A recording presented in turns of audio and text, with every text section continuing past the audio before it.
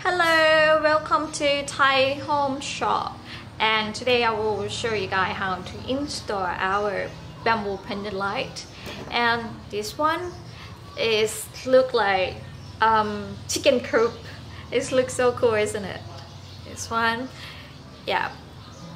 We just like paint it a little bit but still be a natural color.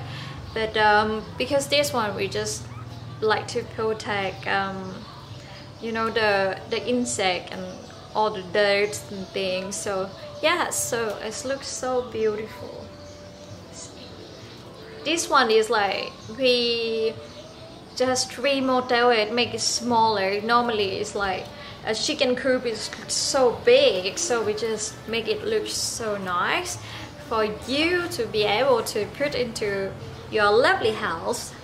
And today I will show you guys how to install this okay so the first one this one is the cable. Uh, the size is about 3 millimeter to 5 millimeter. And we have this in the package a plastic lock. So normally like we ship it look like this. So you just unlock it like this. And then we have a bamboo stick stick like this. So yes. Just the first part use this plastic lock put into the cable. And then put the bamboo stick here like this. It will look like this. And then lock it with this one the last part. Let's just lock it. And you just like move it around. You can always move it.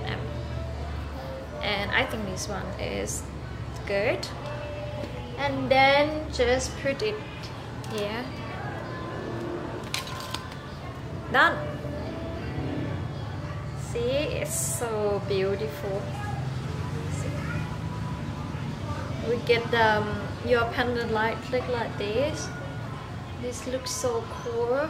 This one even like put it outside. I mean like in your uh, patio or just outside. I mean you can because we already put um, uh, some what they call wax. And um, so this one is can protect the water and all those stuff. So you can leave it outside too if you like to and thank you for watching. And if you guys have any question please just leave it in the comment below. And thank you so much for watching. And please please if you guys like our product go check it out on etsy slash thai home shop. Or visit us on our website www.thaihomeshop.com okay bye bye